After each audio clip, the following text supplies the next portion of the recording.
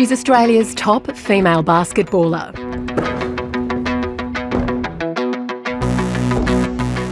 As soon as I cross that white line, I get like white line fever.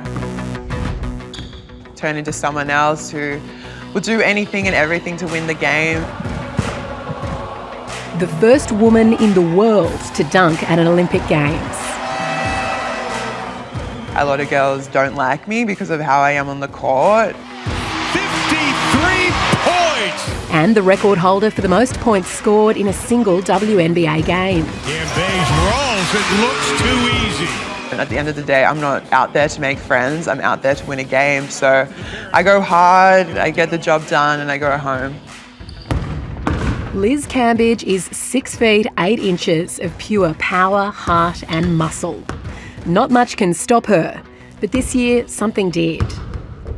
For me, when I have a really bad panic attack, I literally can't breathe and um, hear, you know, a million voices of my self-doubt just yelling at me. So I guess it is very different to an injury. It's not a sharp pain in your leg, it's uh, anxiety just taking over.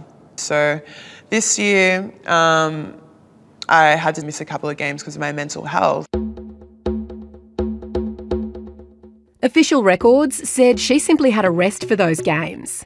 But Liz wanted to set that record straight and wrote an open letter revealing why she didn't play. Tell me about the letter that you wrote in August this year, where you, you talked about some struggles with mental health. My motto is live your truth. Um, so I, I, I, felt it was necessary to be open and honest and write the piece. And I didn't want it to just be like, oh, like, why is Liz gone missing? It's just weird. And all my friends knew something was up because I hadn't been on Instagram for like a week. There was no stories. If I ever disappear from Instagram, I literally get messages like, "Are you okay? Where are you? What's going on?" And it's it's actually it's beautiful that my friends and my family know that. I just wanted to be open and honest because it is such a thing at the moment and everyone's dealing with mental health in their own way. You personally dealing with it or have friends that are really struggling. And I think me telling my story has really helped other people. And that's what I want to do at the end of the day. I just, I just want to inspire people to just free their minds and chase what they really want in life. Hard in three, two. Was writing that piece cathartic in a way? I guess so. Um, I was really worried, you know, the day that it got released because I didn't know if people would take it well or take it badly because it was pretty open and honest. Um, but I think it did, a lot of people did connect with it. Um, I guess, yeah, well, it was a big release for me. In the letter, Liz revealed her disappointment after the 2016 Olympics when the hot favourite Opals didn't make the gold medal game. All right, we just do similar to the other day? Yeah it was just a horrible experience. So I'm very lucky today that we have Sandy Brondello as our head coach, and she's very understanding um, and just just wants to work hard and wants us to be the best team that we can be. And our group is amazing. There's no big egos.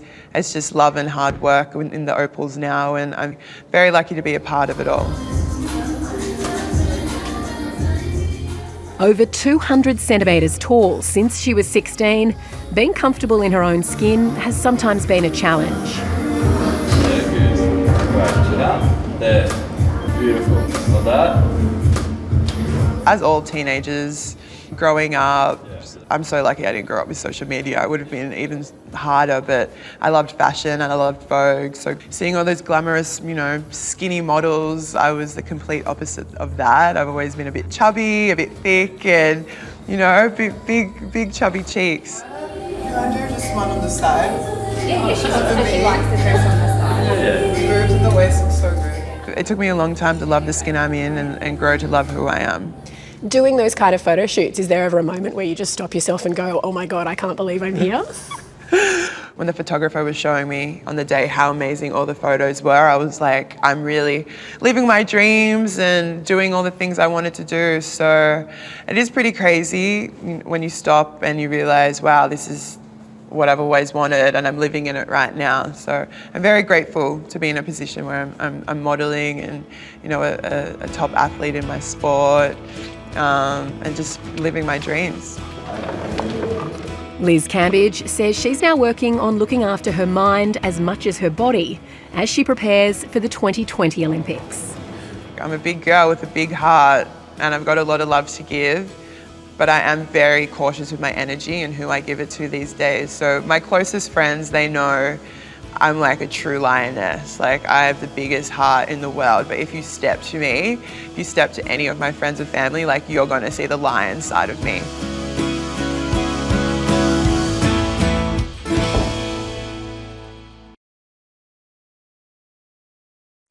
Hi, I'm Leigh Sales. Thanks for watching this story. If you'd like to watch more of 730's stories, they are on the left of your screen. And tap on the button below to subscribe and get the latest from ABC News.